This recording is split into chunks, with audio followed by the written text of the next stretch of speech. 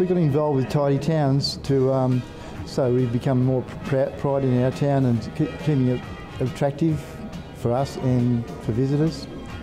It just helped to make it a nice place to be. Sort of demonstrated really well how the community spirit can, um, you know, all join together and get things done really well. Tidy Towns. It's not complicated to participate, and the reward of working together is a cleaner environment and a friendlier place to live.